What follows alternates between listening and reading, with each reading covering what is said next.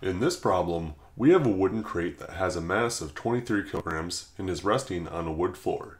The coefficient of static friction is 0.58 and the coefficient of kinetic friction is 0.4.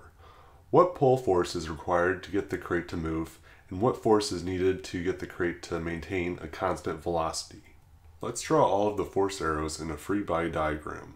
First, we have the force that we will be pulling with, which will be marked with a yellow arrow.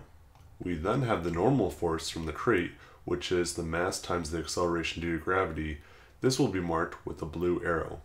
The floor will be pushing back with an equal and opposite force that is the normal force from the floor, which is marked with a purple arrow.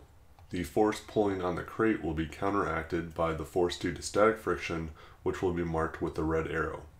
After the static friction is overcome, the crate will start moving, and the pull force will be counteracted by the force due to kinetic friction, which will be marked with a green arrow. On the bottom of the slide, I have a graph that shows what happens as you increase the force from pulling. So at first, the force increases up until the point where you hit the max static frictional force. After we surpass that force, the crate begins to move, and now we are working against the coefficient of kinetic friction force.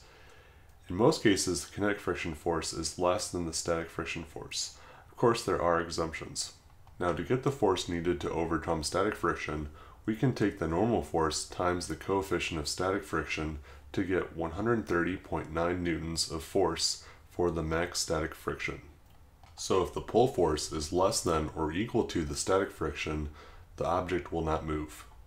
If the pull force is greater than the static friction force, then the object will begin to move.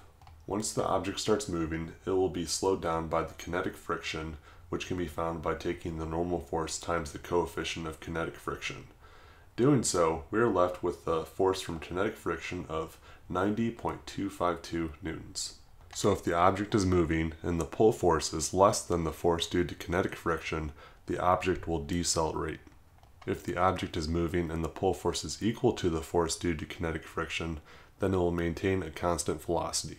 If the object is moving and the pull force is greater than the force due to kinetic friction, then the object will accelerate.